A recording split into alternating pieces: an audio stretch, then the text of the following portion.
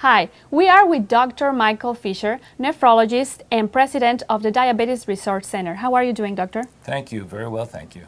We are glad to have you in our show today. The topic that we're going to cover is so important for our families here in Santa Barbara. So, why don't we start by telling our viewers what's the mission of the Diabetes Resource Center? Well, the mission of the Diabetes Resource Center is, quite frankly, to prevent adult onset diabetes by preventing childhood obesity and by touching the families, of course, and preventing obesity in the family members also. Now, let's talk about diabetes itself. What is it exactly, and how many people are affected per year here in the United States? Well, I want to say there are two types of diabetes, um, and I'm going to dismiss the first type, uh, which is called type 1 diabetes, and another term for it is juvenile diabetes, because it only affects uh, 5% of all the people in the world that get diabetes. And uh, so I want to really uh, refer to type 2 diabetes mm -hmm. or adult onset diabetes, which is the diabetes that's affecting our children and our families and is very directly related to obesity. So adult onset diabetes is really insulin resistance, which is created by the fat cells themselves. Uh, the fat cells are endocrine organs. They create resistance to the uh, action of our own insulin.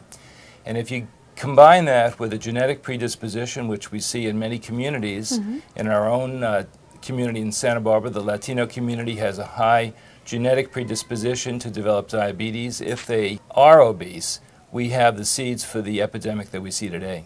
Which are the symptoms for diabetes? The symptoms are very similar. Um, you know, blood sugars are very elevated. Uh, people get very thirsty.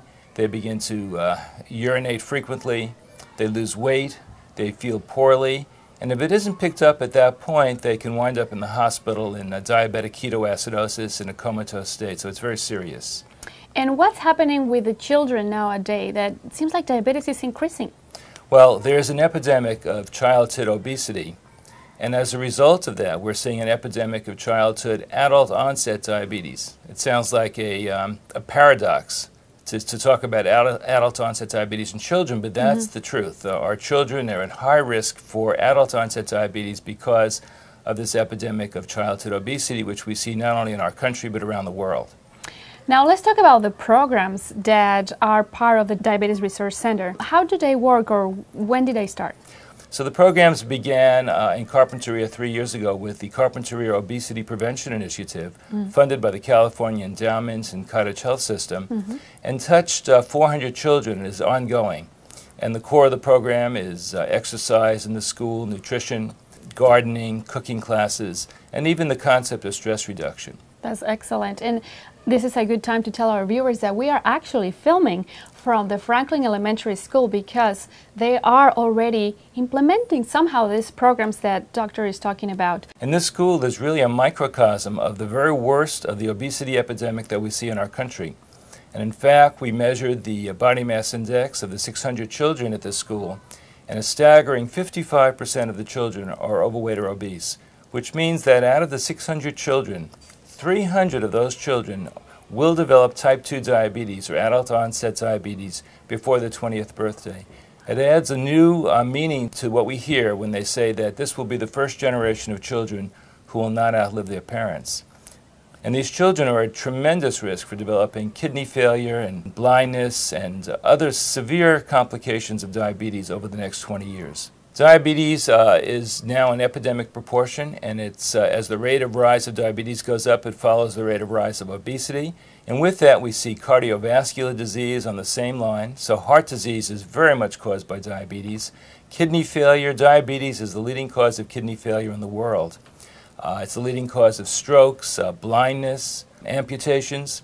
So, diabetes is really the root of all evil. Well, thank you so much for all that effort, Dr. Fisher. Also, will be a good time to talk with the Director of Programs from the Diabetes Resource Center, Priscilla Hernandez, which is part of your staff. She's not only part of our staff, she's the heart and soul of our staff and uh, the force behind the success we're having here at Franklin School and in Carpinteria. Thank you so much.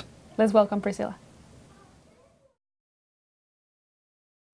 We are now with Priscilla Hernandez. How are you, Priscilla? I'm fine, thank you. We are glad to have you in our show today. Thank you. And Priscilla, uh, you will talk to us about the programs that are so important and are a good part of the Diabetes Resource Center. Mm-hmm. So, can you explain me how do you apply those programs at the schools? Well, right now, what we're doing with Franklin is that we're coming in as a consultant base and we're developing a standard based curriculum for physical education.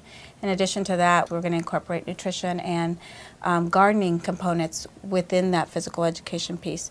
So, we're coming in and we will be teaching developed lessons on different activities for the kids from K through sixth grade on a regular basis, Monday through Friday. So another important aspect that you work with is the families themselves, right? To implement good habits. Correct. How do you do that? Um, well, we, what we do is we will be offering nutrition classes for the families. We'll be offering cooking classes throughout the year that they'll be able to get involved in. We'll be working also with the family service advocate who interacts with the parents on a monthly basis. In addition to that, which is pretty unique, is that the staff is getting involved because it's one thing to work with the children, but if they're not seeing the role models that they should be seeing that are doing the same, eating healthy, um, doing exercise, you know, living healthy lifestyles, um, it's, it's kind of, it, it, won't work. But the staff has gotten involved in an adult fitness training that we offer here at the Franklin School in the evenings. They do an hour of cardio circuit training workouts.